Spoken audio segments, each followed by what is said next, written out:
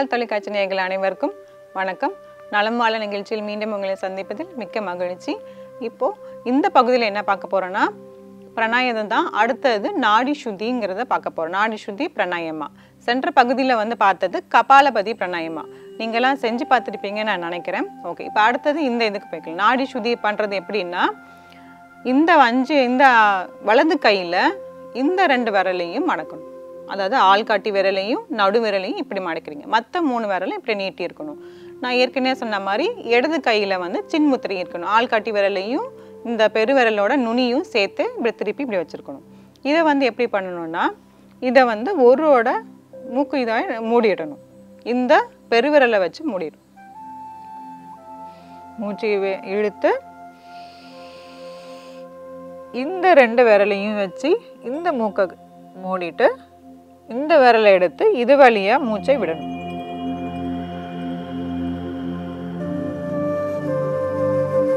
மறுபடியும் இது வழியாவை எடுத்து மூச்சை இழுக்கவும்.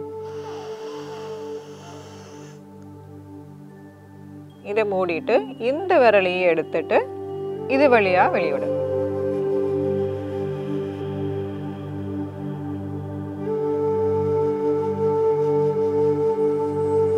ஓய்வு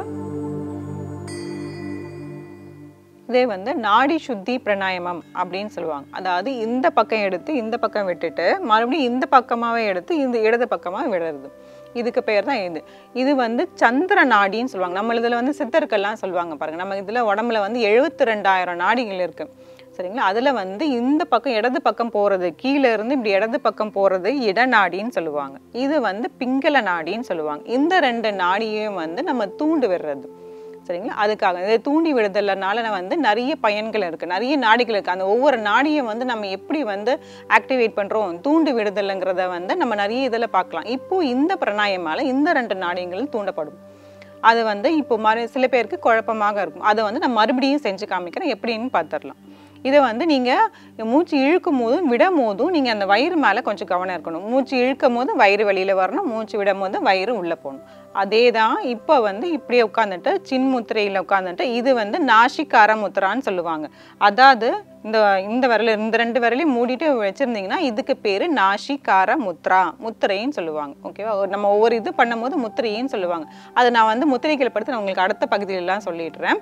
இப்போ பிரணாயமை பற்றி பார்த்துடலாம் கண்களை முடிக்கவும் முதுகு தண்டு நேராக வைக்கவும். இதை மூடிட்டு இது வழியாக மூச்சை இழுத்து இந்த ரெண்டு விரலை வச்சு இதை மூடிட்டு இந்த விரலை எடுத்துட்டு வலது பக்கமா மூச்சை விடணும். மீண்டும் வலது பக்கமாக மூச்சை இழுத்து வலது பக்கம் மூக்கை மூடி இடது பக்கம் மூக்கை திறந்து மூச்சை வெளியே விடவும்.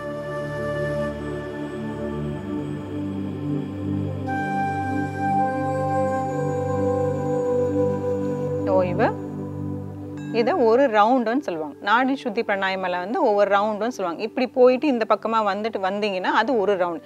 இதை மாதிரி சேர்ந்து அப்படியே செய்யணும். நான் இப்போ உங்களுக்கு சொல்லி புரிய வைக்கிறதுக்காக நான் வந்து ஒரு முறை தான் செஞ்சு காமிச்சேன். இது அப்படியே வந்து கன் கண்டினியூஸாக வந்து நீங்கள் ரெண்டு மூணு ரவுண்டு வந்து செஞ்சுட்டே போகலாம் இப்போ நம்ம ரெண்டு ரவுண்டு செஞ்சிடலாம். கவனமாக பார்த்துக்கோங்க. என் கூடயே சேர்ந்தே செய்யுங்க.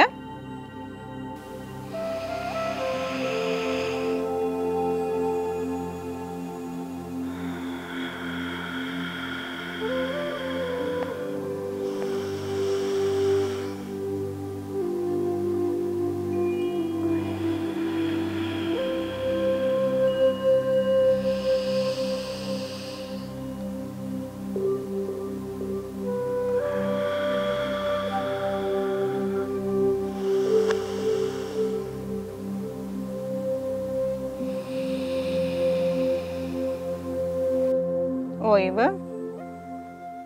மெதுவாக கண்களை திறக்கவும்.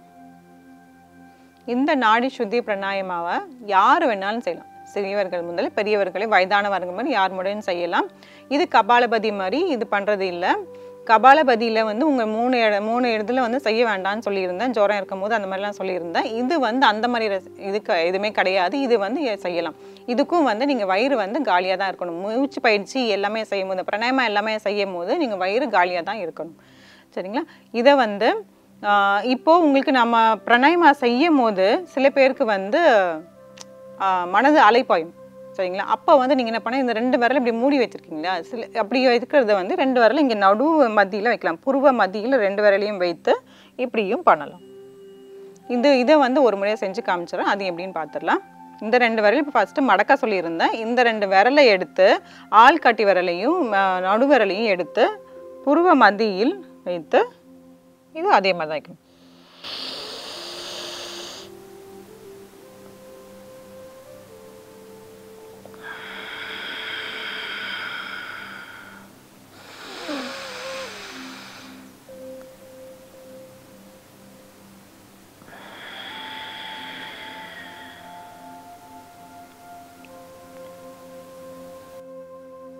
இந்த மாதிரி செஞ்சால் கவனம் வந்து சிதறாது.